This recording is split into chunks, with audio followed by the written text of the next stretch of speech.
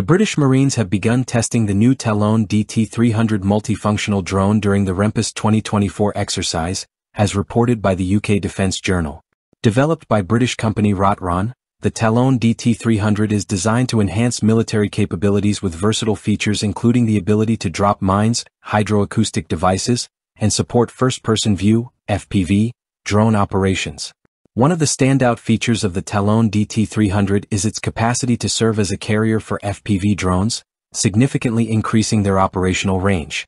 During the REMPUS 2024 exercise, the drone simulated the dropping of munitions from the air, specifically inert 3D printed mortar shells, onto the unique test vessel 15 Patrick Blackett.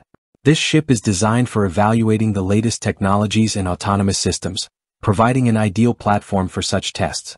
According to the developers, the vessel was stationary during the drop, which was carried out while the ship was at sea.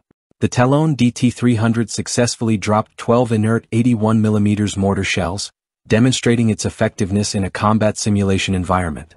The Talon DT-300 was subjected to a variety of tests during the exercise, showcasing its potential in multiple configurations. Notably, it was able to deliver six FPV drones to designated targets, enhancing its utility for precision strikes.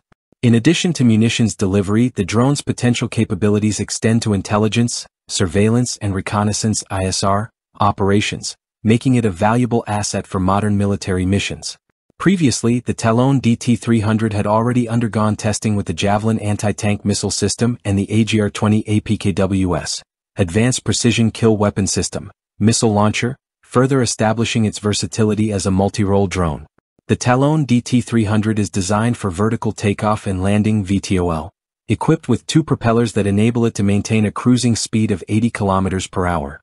It boasts an impressive payload capacity of 30 kilograms, allowing it to transport various munitions and equipment over a distance of up to 45 kilometers.